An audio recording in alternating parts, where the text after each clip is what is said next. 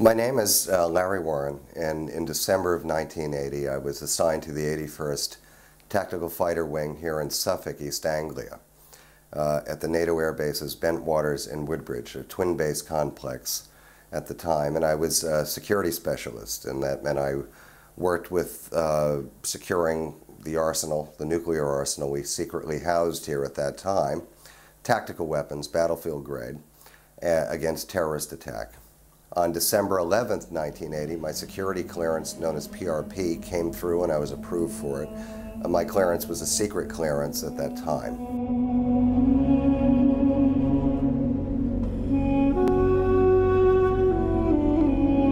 When it comes to the uh, UFO incident that took place near RAF Woodbridge, which is our sister base, uh, six miles apart, separated by a pine forest known as Rendlesham Forest, uh, I was into my second week in on the flight line working the night shift.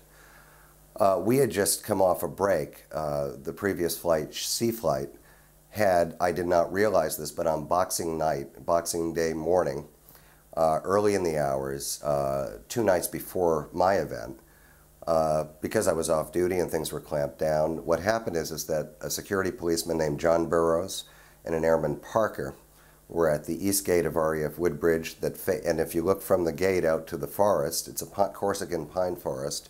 Beyond that, about uh, nine miles away, is the Orford Quay and the, the North Sea with the Orford Lighthouse on it. And I will qualify that we were all familiar with the beam of the lighthouse, which people have tried to downplay these events as saying we misidentified. Uh, Airman Burroughs saw what appeared to be an object in the forest at the east end of the runway, just within the trees. Uh, multicolored lights. Um, it, it, he suspected maybe an aircraft had crashed, but there was something wrong with that. Uh, he called into Central Security Control on Bentwaters, reported what he was seeing. Uh, a shift supervisor named Jim Penniston responded. He was a staff sergeant. Responded to the scene. Uh, a few other personnel arrived. I wasn't involved in this, but this is what I know of it. Uh, they pursued the phenomena into the woods. They definitely thought there was an air crash and went started to begin those procedures. Uh, we were not allowed to take arms off the base due to our treaty with Great Britain at the time. Any incidents outside of the base, uh, the British military or constabulary would take care of. Uh, these men got permission to proceed on foot into the forest to investigate these lights. Uh, according, and there's a lot of information on what they saw. In fact, on uh, the MSN network, Jim Penniston has given terrific statements uh, on the computer, you know, uh, of his experience with Burroughs. And there was a, another airman named Cabansag there, and then a fourth person who I don't know whose name that was. They pursued the phenomena. They found that it was not an aircraft, but a triangular object about uh, six feet at the base that rose to a nine foot point. It was black like glass or fabric, they described it as. Uh, great density to it, black. They didn't know if it was on a tripod or on legs of some sort, but it had multicolor lights around it, and each of these individuals have given somewhat conflicting statements as to their perception of what they were looking at. I do know this based on his own testimony that Sergeant Penniston at one point, these men did bring their sidearms, which are 38 calibers that the law enforcement people carried. We carried M16s. None of them were brought to the forest. Uh, Sergeant Penniston drew his revolver when they encountered this object and saw clearly it wasn't a, an, anything they were familiar with. These were all highly trained observers, as we all were at that time, for aircraft or unusual things. Uh, Sergeant Penniston drew his revolver and aimed it at the phenomena at some point. His, I believe his next memory, and I'm trying to paraphrase here, he approached this phenomena very close to it, observed a panel on its side with some sort of language similar to hieroglyphics. It was somewhat familiar to him, but he couldn't identify the script, and it was raised from the surface. Uh, he touched it and felt the surface. It felt warm to a degree, and the texture of glass almost, the consistency and hardness. Uh, and he, they sensed there was movement within through this opaque kind of glass. um, Sergeant Penniston heard a voice. And this is some recent testimony, obviously, they feel easier. He's a retired man from the Air Force now, honorably retired, uh, and probably very willing to talk about this on the record. Um, a voice came into his head, so he perceived, and I don't know what, how this went, but from what I understand, he asked the phenomena, Who are you? And it responded, We are you. And it gave a number of half a million years down the line and biological things. All this information flew through his head that there was a biological need to come here and all kinds of things. Uh, he probably would say it much better and accurately, but it gives a dimension of the high strangeness of this event. Uh, these men had four hours of missing time. Their radio communication had failed with the base. Luckily enough, some other personnel obviously did respond to see what was happening with these people, and some brought cameras but observed this activity much in shock and snapped some photos.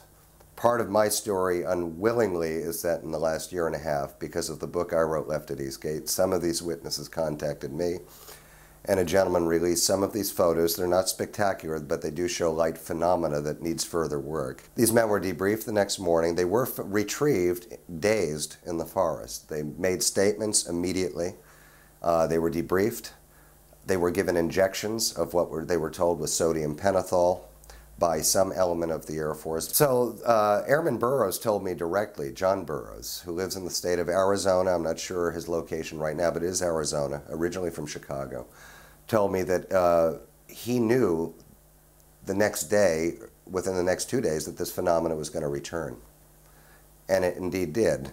Their shift had ended that day. My shift came on. There was evidence left by this encounter, pod indentations on the ground, uh, the British Suffolk Constabulary responded to this the next morning because it was an incident. It was reported to them from the base security police uh, operations desk. They came and they, these triangular, and Charles Halt can explain this very accurately because he was present on site for the investigation, was that these pods were in a perfect nine foot separation of a triangle they represented something two and a half metric tons sitting down. There was a break in the canopy of the Corsican pines where something clearly came through it. Uh, there was background readings, and Nick Pope can actually offer some more information on this via the Ministry of Defense, is that the background readings were 25 times higher than the normal natural background radiation in that area. How these readings came up is that uh, Sergeant Nevels, who um, was the disaster preparedness man on the, uh, at the base at that time had the Geiger counters and knew how to read them.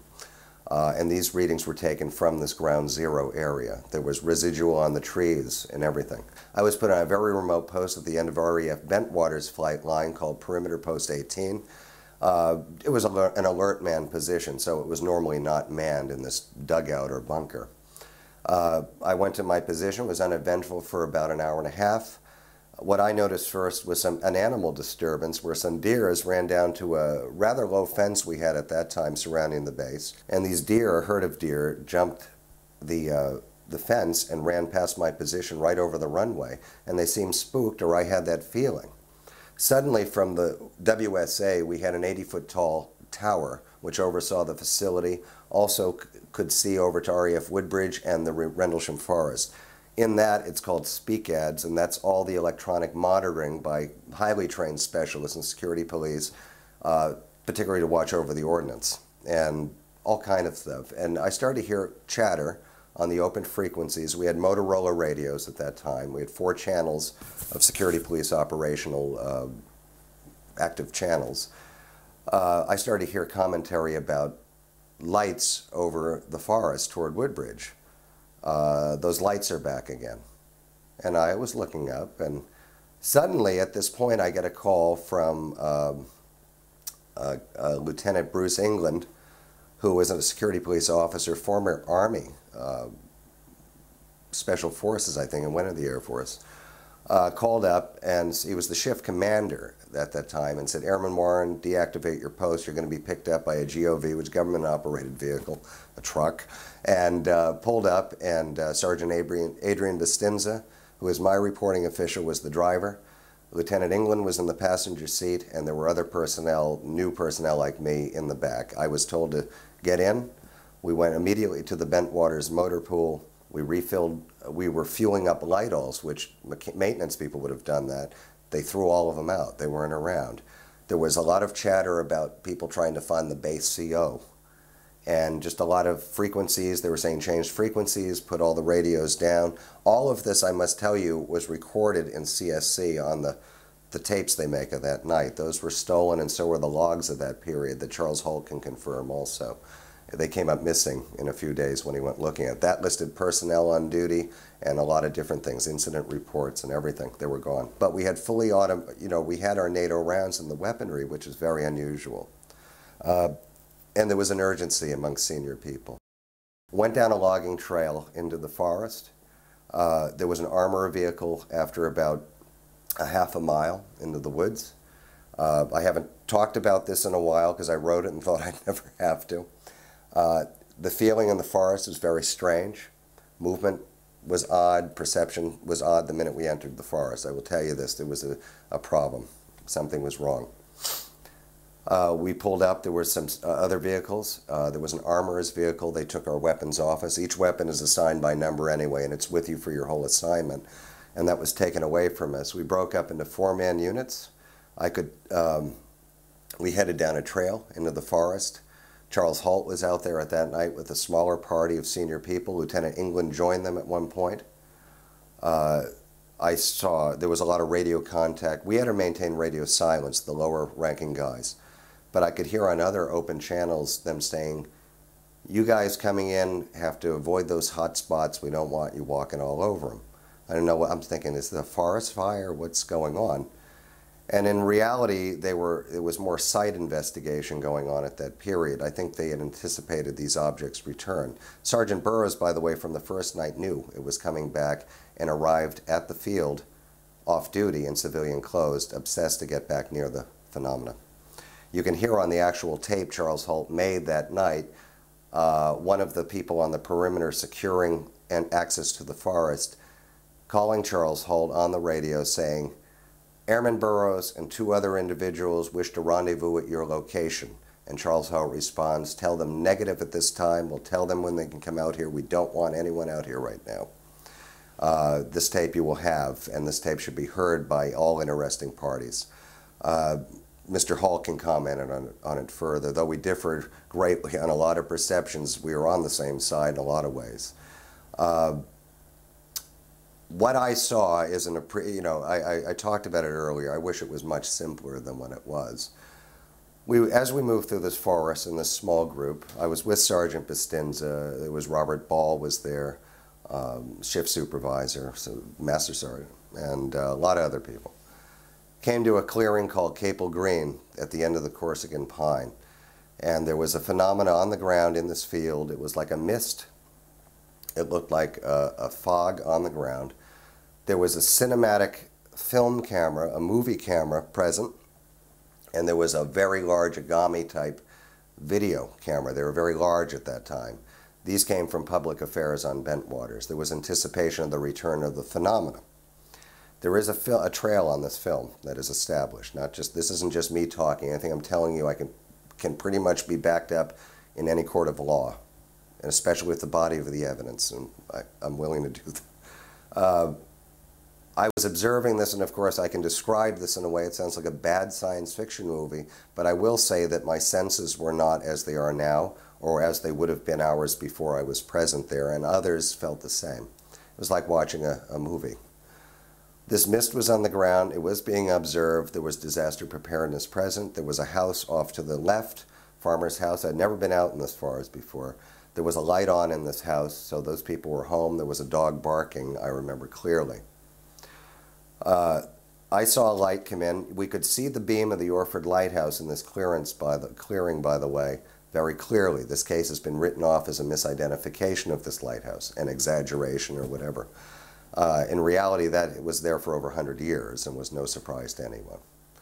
This object, a red basketball-shaped object, came in from the North Sea area over the trees. I thought it was a tail light on an aircraft. It moved so quickly that it was, it, it, it came in over the trees. I go to this site all the time and I see it as clear as day. Did a, a downward arc over Capel Green, which I didn't know the name of this plot of land at that time, came to a point over this mist. Now, it's been misrepresented. There was a mist on the ground. It see, appeared to have structure. It was 50 foot across. This basketball sized amber light, it didn't seem solid. I couldn't tell you what it was, was 20 feet above the object, this mist. As soon as I got a fix on that, and everyone else did, but I will tell you the cameras were up on it. These people were reacting, but everything was like hello and very slow. There was an explosion. This is described, it's very hard for me to describe it. It was a, this thing broke up into multiple shards of extremely bright light. I and others suffered, and I have documents of this because I stole them from Bentwaters because an officer advised me to, because he said, your, your military record is going to vaporize as soon as you're gone. Uh, my eyes uh, were damaged, flash burns to the retinas and all. This is established uh, as if I'd stared at an arc welder's torch for about 10 minutes, which is unadvisable. Uh, everything was very bizarre at that point. In the place of this explosion of light, very silent, there was no sound, anything, was a structured solid object, rather large, probably 30 feet at the base, uh, uh, to a pyramid type shape, no windows, flags on it. It was very rough. It, it was it was distorted as you looked at it um, with a rainbow-like effect, and yet through peripheral vision you could get a fix. But all this is dreamlike. I will tell you there is severe evidence for this thing where it sat to this day. And uh, this one won't let anyone down, this case, believe me. And, uh, and this, this thing was there on the ground, and it was filmed and it was photographed. There were some British bobbies present on Charles Halt's tape. You hear the Suffolk Constabulary pull up in the forest with their British police vehicle because their siren was on for a bit. Eh, eh, eh. We didn't have that horn. Uh, and that's proof to me that they were there. These police are unattainable. They won't talk to anyone. Uh, they had a camera and one was taken off one of the British police. Already an international incident was brewing here. Our wing commander, Gordon Williams, who uh, was at a party, I believe, that night for the wing, arrived on site with other senior people. There were British military present. They could have been at the party. And I will say they seemed to know how to deal with an event like this. I have no recollection of any sound emitting from this. It was almost like a mirage. And yet I know it was solid because it left trace and evidence and all, but it was so beyond anything, and it's right in front of us. I was at least 30 feet away from it at one point. Uh, too close there was a life form in association with it, and so I can just cut to the chase, uh, which we perceived, I perceived, I remember thinking, and you've heard other witnesses say this, and like, as children, what are these children doing here? And the mind starts scrambling, but they were almost, there was in light, there was bright light, and there was movement, and these things had a, an upper body I clearly saw with, and when I saw an arm, what I perceived to be arms move, I'm like, my, you know, you just, you're in another place at that point. What I saw was on the, the, the, the, right side delta of this bizarre object machine, this bright light moved out. It was bluish gold. It was about a foot off the ground. It split, and it was only about four feet in height from the ground up, but it split away. And three individual kind of oblong uh, cocoons of light with this thing in it. These in three individual things inside it, people or things. So they and look like human. They were humanoid. Okay. Yeah, they were humanoid. There was. Uh, know the height of them. Yeah, they would have been about in height, probably about four feet. Really, I mean, the child. You think of children. The light diminished, and that's where there you could see what was in it and I'm thinking, it, I don't know what I thought really. No, it was hairless, but there was clothing. There was a, an apparatus attached.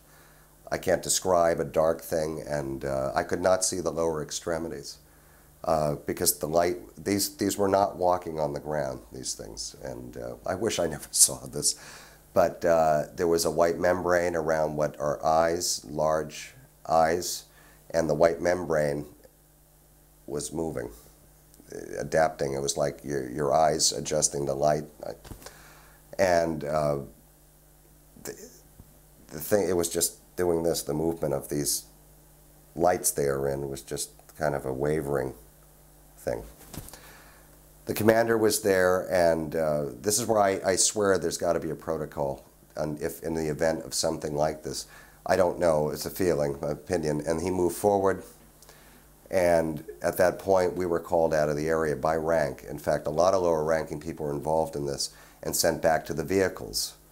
Uh, on our way back, there was a lot of phenomena in the forest. These lights, these light beings or whatever, uh, there were other craft around in the tree, uh, above the trees, uh, almost as if they were guarding this thing and backing it up. And I will tell you that Airman Burroughs, uh, and he needs to be spoken, speak to someone, and he needs to be in, in front of a, a responsible body. This man can make a big difference.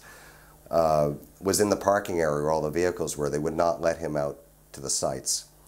Charles Halt was pursuing other light phenomena uh, with getting beams fired down to the ground right in front of him.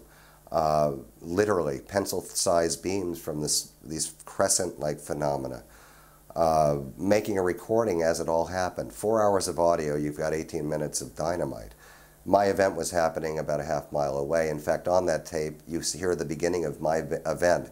I will clarify this, it was on the record long before the Halt tape became public, and I was the one that made the Halt tape go public.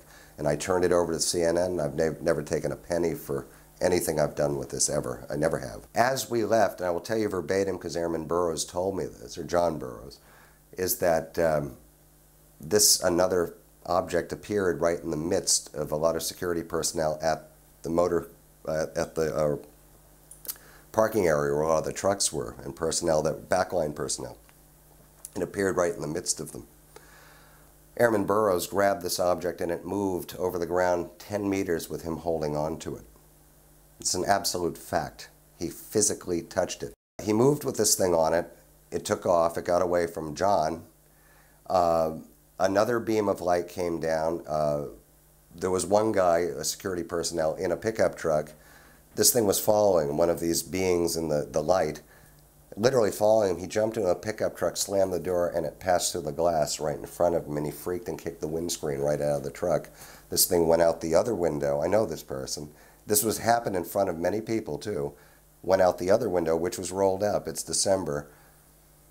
Turned away from the vehicle. A blue beam of light came down from above the trees this thing got on it and ran right up into something that was dark and looked like a pine cone with white pins of light on it. It was uh, dark against the, the night sky above. It was watching over this. Another officer has said that he felt that these objects had been there looking for something. They were conducting grid searches the night before. There were three nights of activity. But they were there for a reason, and it was kind of like, okay, we're here for a purpose. You guys are bothering us, so we're going to show you what you need to show, but we're going to accomplish what we need to do. I will tell you on that night, and this is from Charles Halt himself, on the record, we're off the record actually, but he did say it. We interviewed him at length, uh, but he did tell us this, and my co-author, that he, he said to me, were you aware that on that night, these objects over, and you hear on the tape, we have one object hovering over Woodbridge Base and Bentwaters, there's a wit witnesses are coming out now saying, unbeknownst to us, there were three massive triangular objects over the base, over the forest, and over the Woodbridge base the whole time. And there was missing time with so much many personnel over this period. It was amazing. Uh, I didn't see that phenomena, but so much to this, it never gets simple. My roommate came in and talked to him. He wasn't working that shift. Was law enforcement uh, I noticed I had a shock of gray hair that did fall out, but a, literally a shock of gray hair on the right side. Uh, my eyes were watering profusely. I had a metallic taste in my mouth, and I was almost hallucinatory. I was having, the room was warping and everything, and sweating. I was sweating profusely and had cold chills. We had secured phones on the base, obviously, but being rather young and naive, I didn't pay attention to the ComSec rules, communication security. And we had a phone where I knew they'd always listen in on your calls, but I went to a public phone box when they used to have them here on the base, reversed the charges to my mom, and I said, Ma, you won't believe this. I got I remember her answering. She does too. So you'll never believe this. Greg was right with me. I said last night, saw it was actually hours earlier. I said last night uh, a UFO landed on the base and we saw everything and you wouldn't believe it. And I'm just thinking she's not responding. Ma, Ma, she's gone. I looked at Greg. I go, oh my God, I got cut off. I called the operator and I said, listen, can you reconnect me? She goes, are you calling from the base? I go, yeah. She goes, I'm sorry you were cut off from the base and hung up on me. Didn't even offer to. And I looked at Greg. I said, man, I think I'm in trouble. So we ran back to my dorm. Malcolm Ziegler, who was a major, was the chief of security police. His underling was Major Carl Drury, uh, all involved in one or aspect or another of these events. Uh, Major Ziegler is from West Hartford, Connecticut originally, and we had some common ground. I'd lived there. And uh, uh, we got to the office. There was a Jaguar outside. Uh, there was another uh, expensive car. I don't remember what it was now. And I thought, oh, here we go, the debriefing. Well, first of all, there were all the lower ranking guys. There were no people above sergeant in my group. We were debriefed in a compartmentalized way, which I understand now that I didn't. I said, "Oh my God, they're going to tell us to shut up." I know it because I suspect you heard rumors then of that. You know, went way beyond that. I'll name names. Uh, there were people in plain clothes going in and out of the, the security police law enforcement desk, and that was unusual. Civilian-looking people, and I'm like, "Oh boy." Well, we were gone over with a, a, a civilian-looking, not disaster preparedness, with a Geiger counter. And they said, Did any of you retreat, remove anything from the forest while you're in there? Anything. Rock, twig, anything. They kept asking this over and over. And they said, if you have and are not going to tell us now, you're subject to the UCMJ, all these Article 15, beyond that, jail, Leavenworth, uh, everything. And we were young, we were all new, we're like, oh my God, we haven't even started here and we're in trouble. Uh, there was one return on one of the guys, and he something was taken out of his pocket. This guy was removed very quickly, and I will swear on my life I never saw him again. He was removed. This happened to a lot of people. It led to a suicide that the Air Force is responsible for. This is a real person with a real name. That base, by the way, after that, eventually adopted the highest rate of suicide in NATO. This is an established fact. One of the captains involved was found hanging in his back garden from a tree, married with children, everything. All these people started to shoot, kill themselves. I mean, this is absolutely like the movie JFK, but I lived it. And I'm amazed I got out of there alive. Uh, keep it very simple and focused on me, and I apologize for going no, off in ways, uh, is that we were brought into the office. There were rows of seats, a very small law enforcement desk, and no one was being held there the law enforcement operators uh, that day were kept out. The office, it was everything was different on that base now. Brought in, we were there were sheets on top of the law enforcement desk. We went in, filed in a line. There were about ten of us. One, two, three, four, five, six, seven stacks of documents pre-typed. One was a pre-typed statement, all generic of what we saw, which was not what we saw. It said we were off duty and saw only un un unknown lights flipping amongst the trees.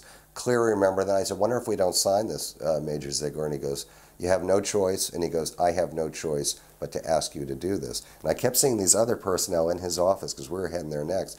He said, you will sign, I think there were four documents. One was the UCMJ secrecy thing. I forget, JANAP 1 something, whatever. And that clearly said JANAP. And it was a traditional thing, but there were other things that we couldn't read. You'll be able to read them later. Put your signature on social security number. We were filed into his office. There was a movie screen set up. There were uh, two rows of chairs, metal chairs folded out. Major Ziegler left, and what was looking at me as I walked through were two gentlemen in civilian clothes, big people, very business looking, American. They had plastic ID with a photo thing, and it said Armed Forces Security Services. I don't know if that's Air Force. We've been told that is a field arm of the National Security Agency. Um, and they were intimidating people, and they didn't smile or anything. They just, you know, were like, what do we do? And they're like, this. We were in uniform, and they asked us specifically where the uniforms we were wearing in the, in the field. And I think that was for the Geiger counter thing. We sat down, and a naval commander that came from U.S. Navy ONI London. His name was Richardson, and he was a Commander Richardson was his rank. He had the rings. He was in uniform, and was very affable with us. Basically, it went like this. I am sitting next to a friend of mine from Alabama we called Alabama. And Alabama was uh, religiously already at this point so unwrapped that Satan had encountered him and that he had a handheld Bible and was just under his, it was like speaking in tongues almost reading this. He was gone. And being so young at 19, the human condition isn't apparent to a lot of people and people's pain and trauma. But I was watching my, this guy I knew melting down next to me. He's one guy that didn't make it. And he has a name and he had a family and everything.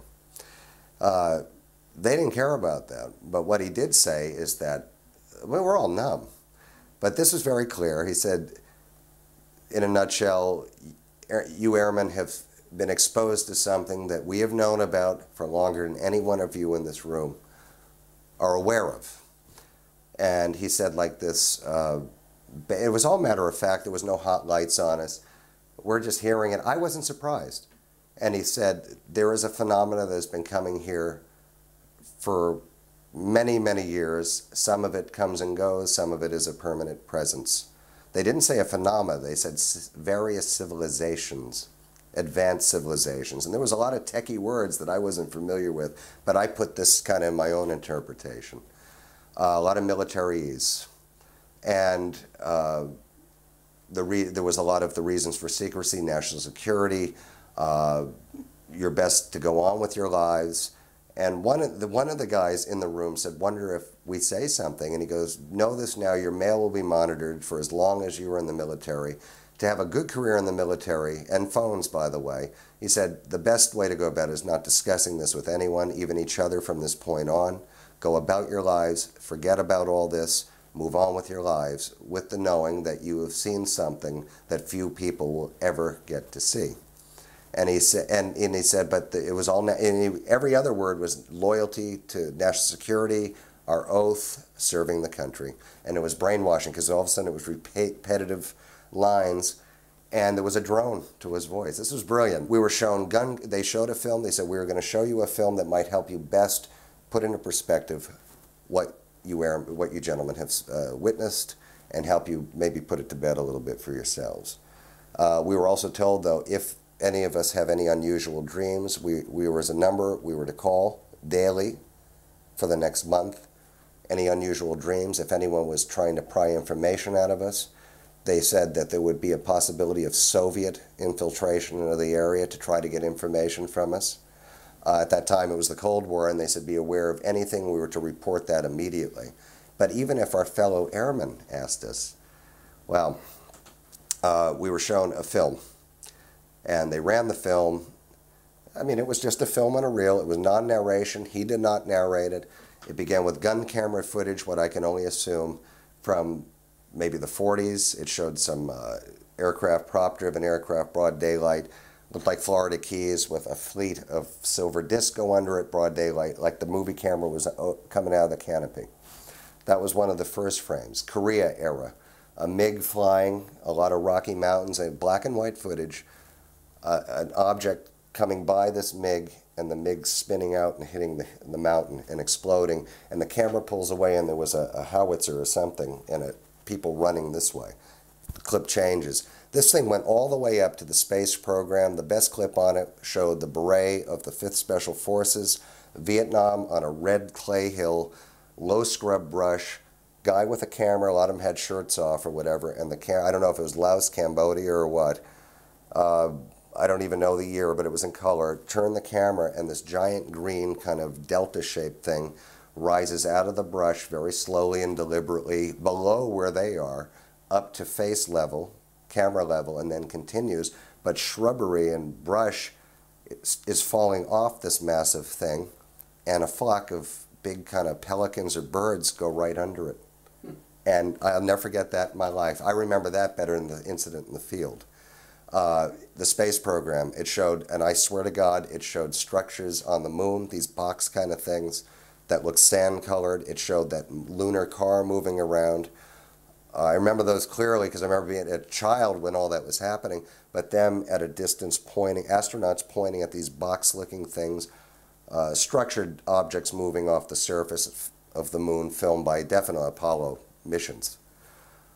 And um, what did the structures coming off the moon look like? What shape? The structures on, and I, I know this is the moon because it was the Apollo era, looked like a continuation of the color of the moon, but there was structure to it, like huge box kind of things, very square and angular structures without windows or any kind of thing like that, but they were artificial, clearly.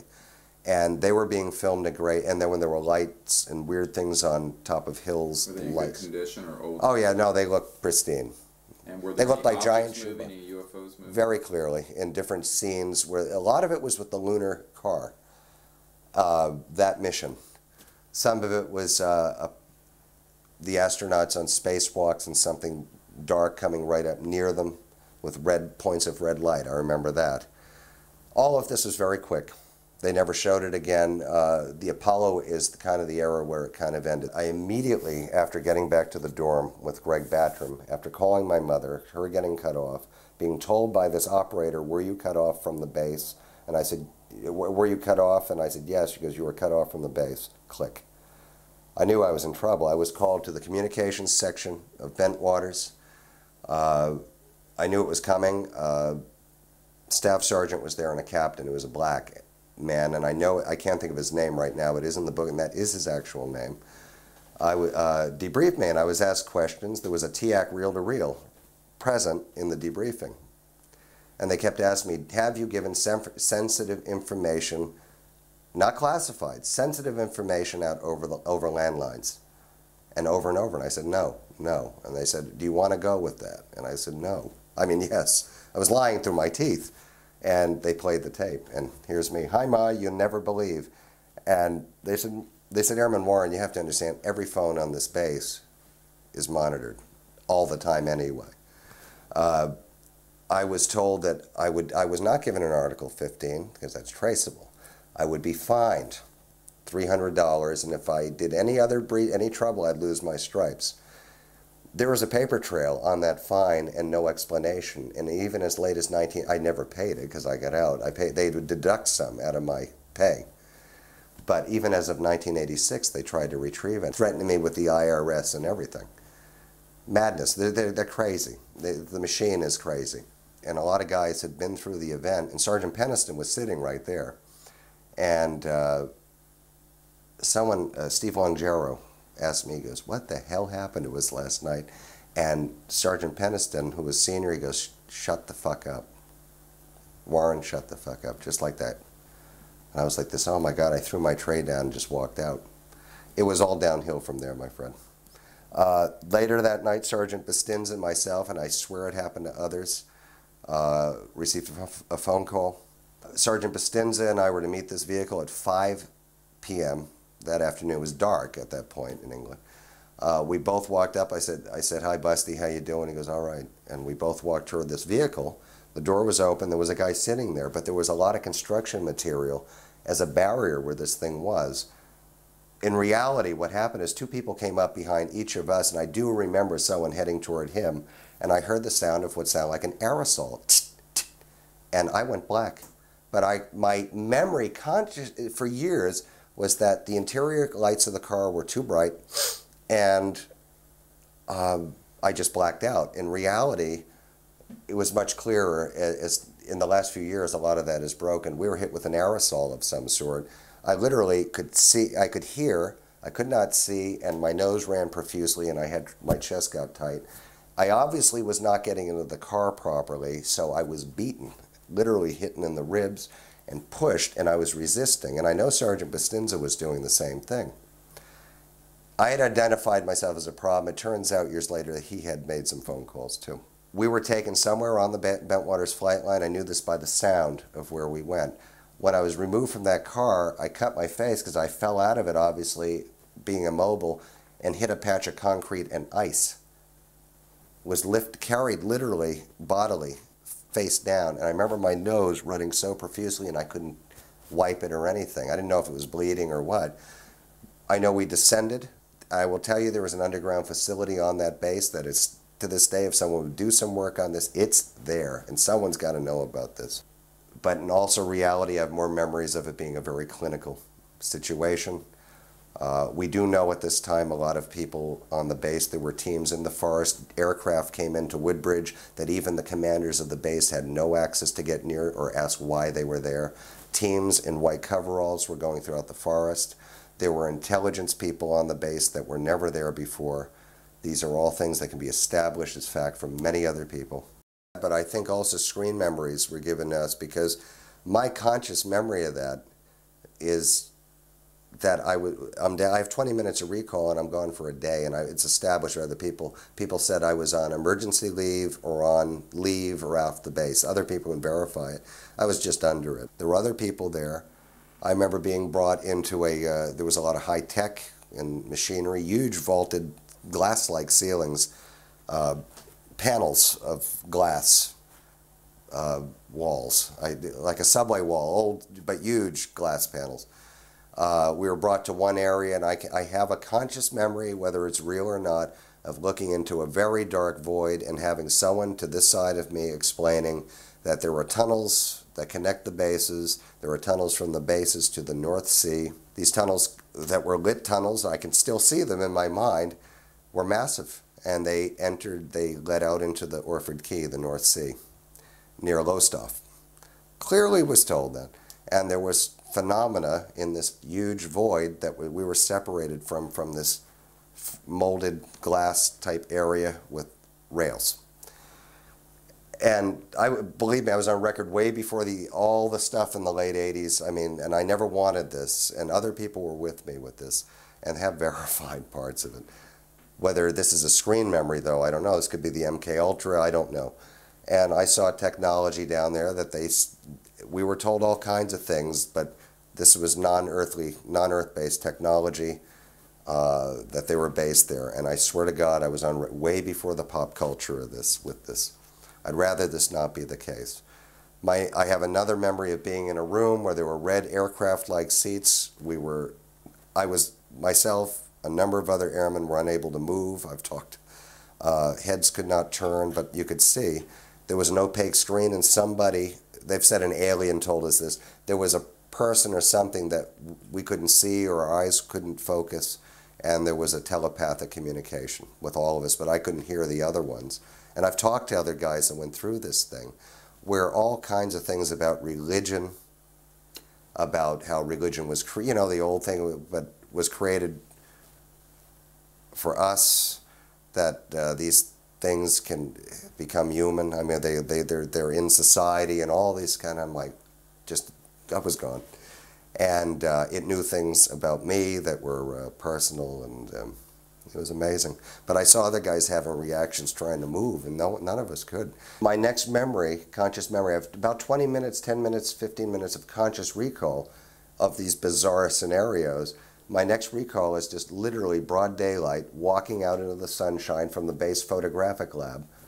Uh, what did come out, which I don't consciously remember, what did come out was a very terrestrial thing where uh, we were hit with an, an, exotic aerosol, and I've been told that kind of thing can happen, uh, causing paralysis. I remember a very clinical. I pulled my. I wanted to get out of this situation, being in this facility, but more in an underground facility, but being in a very clinical, like ER setting, being against the wall, and then having to sit and wait, seeing a colonel down there. Although I don't recognize him.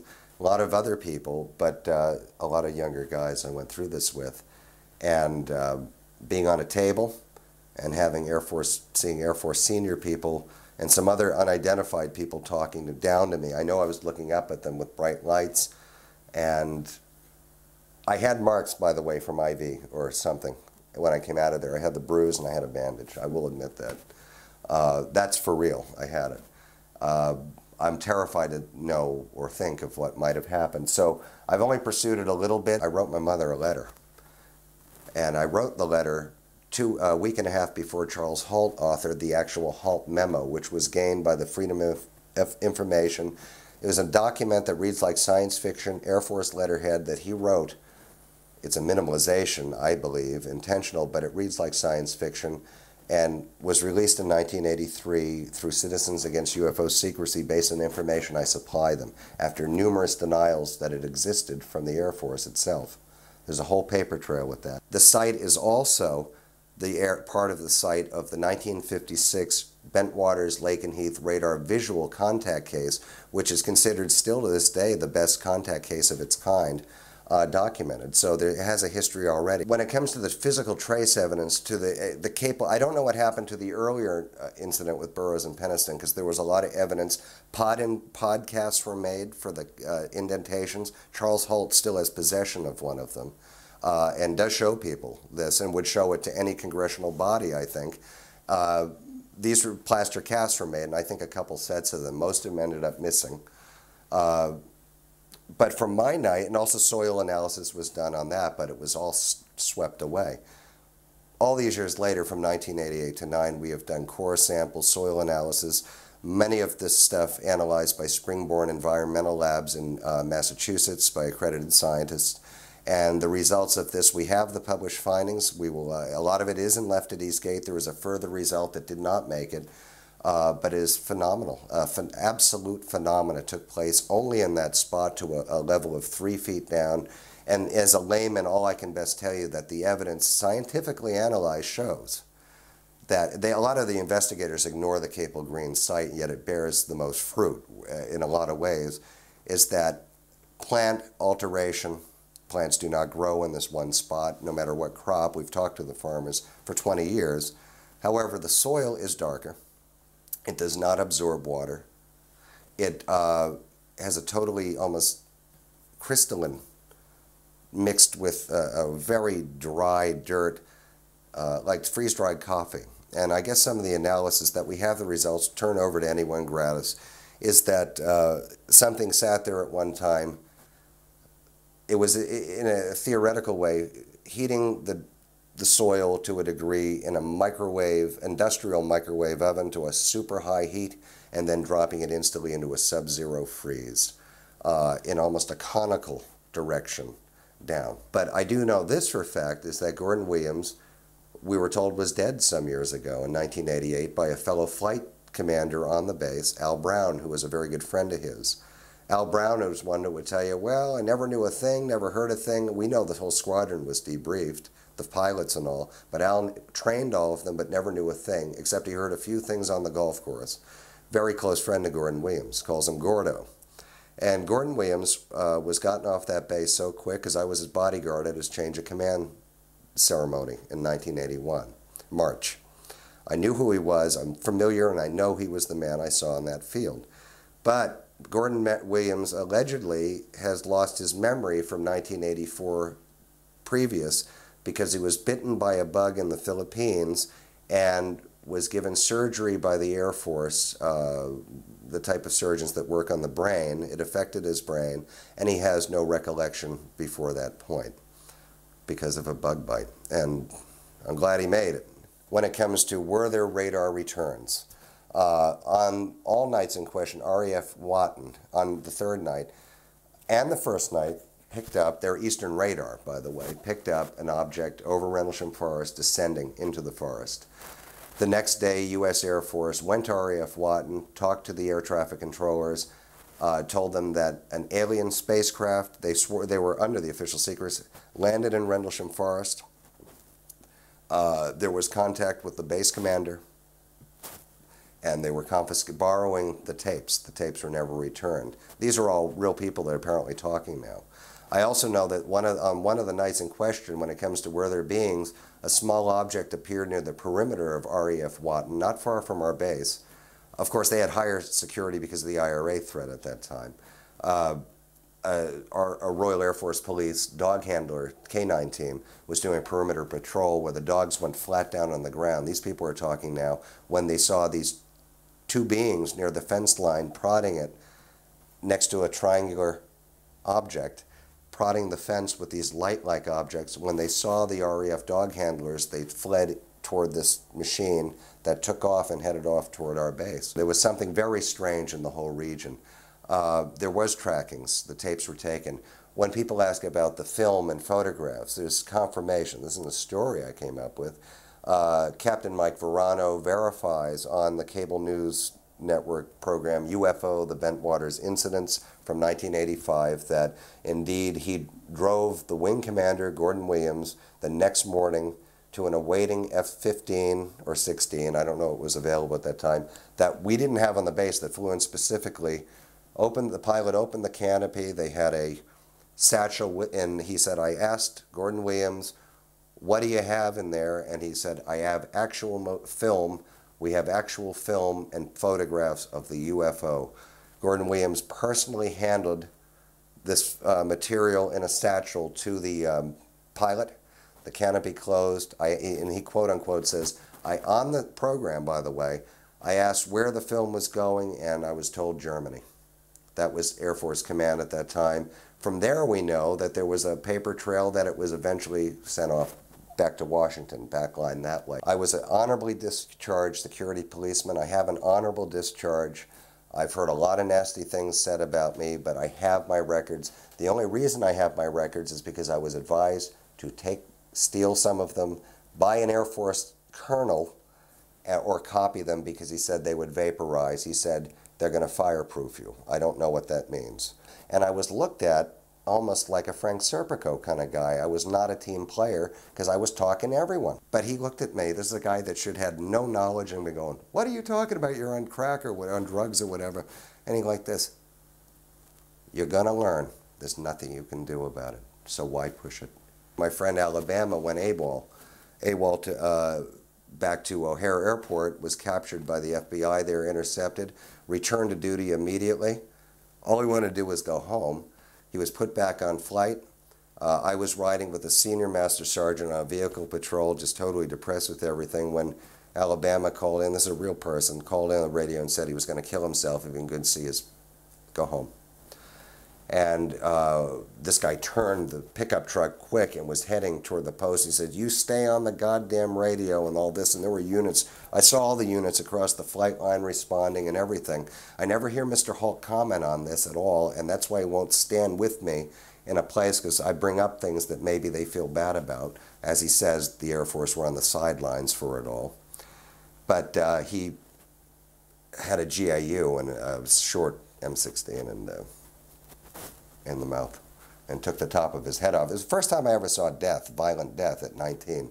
And at the, all this did, we were different as night and day being this kid. You know, he was the South, I was the North. He was very religious. I respect that, but nothing in common. He was a nice guy. And his, they did not do anything to help us, calling psychiatrists that played head games. Are you having any dreams? Dreams was so important to whoever we were talking to on these phones. What are your dreams? Do you, or do you feel compulsions to do anything? You have to tell us, and it is dangerous not to tell us. So I went to go back in the Air Force saying, well, maybe I'll do something else. Everything was great. It all began suddenly saying, with the guy that put me in, he goes, Larry, I got bad news for you. He goes like this, we can't touch you. Their computers at that time, word processors would come up when you put my information in. Do not process, nothing follows. I talked to their off in Glens Falls recruiting station, the senior master sergeant that ran it, and he said, and I said, guys, I got to tell you what happened. I told him the thing minus beings and all, and they said like this, Larry, you can't surprise military people with this, and I'm with you. He goes like this, you're never going to get back in. You're more of a threat inside than outside. And he goes, I'll tell you to give it up right now. What got me even more mad, and they basically said, we, we can't go further. I went, they showed me, do not process. I'm like, this can't be.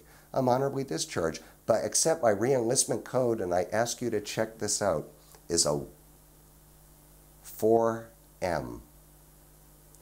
Now you think it means medical.